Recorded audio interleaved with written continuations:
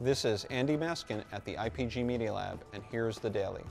Japanese researchers have developed a new accessory to build immunity to what they consider a disease of the modern age, facial recognition technology.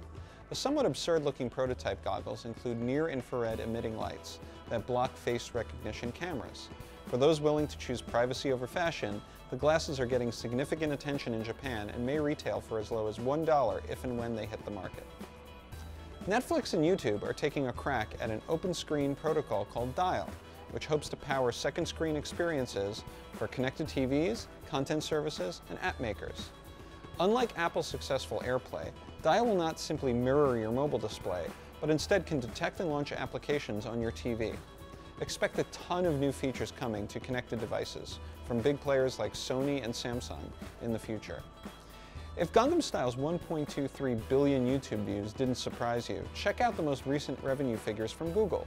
According to Chief Business Officer Nikesh Arora, Psy's hit has generated $8 million in revenue on YouTube alone.